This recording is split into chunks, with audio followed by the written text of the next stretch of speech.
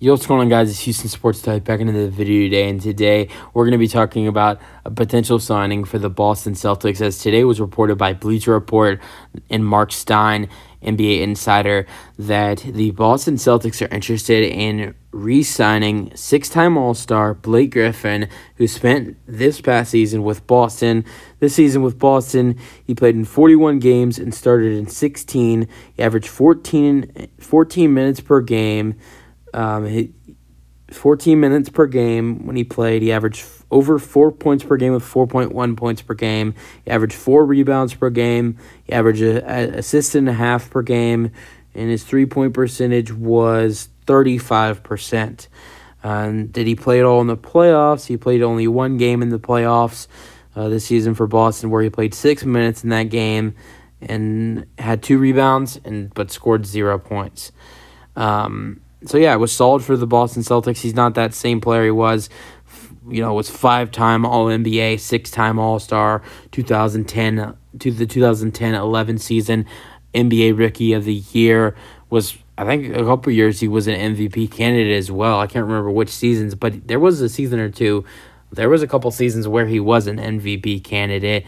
Um, I mean the the last good season he really had was 2018-19 with the Detroit Pistons. He was an All-Star that year, had a great year with them.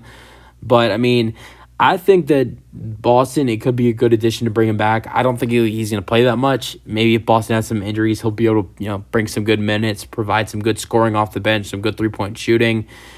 But besides that, I don't see um, him being that much of an impact player. He's not going to be that six time All Star he was in Detroit and LA. But, I mean, at the same time, he is still a solid player uh, to come off the bench. And I think it would be a good move if Boston re signed him. These are your thoughts. You th- let me know if you think Boston should go out there and re sign Blake Griffin.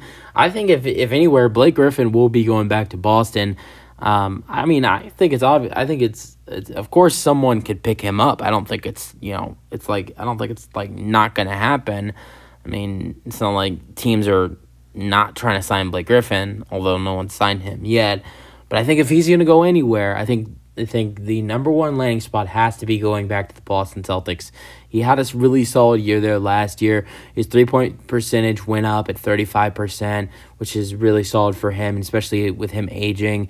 He was scoring well. He was playing okay. I mean, like, I mean, like he was the minutes he was getting was okay. Played in 40, played in only 41 games, started in 16. I think he could be a nice player for Boston next year. Um, you know, he's a good he's a good vet to have in the locker room, and we'll see what happens. I think this would be a great addition for for Boston if they brought back Blake Griffin. Is your thoughts? And that's it for the video. Hope you guys enjoyed, and peace out.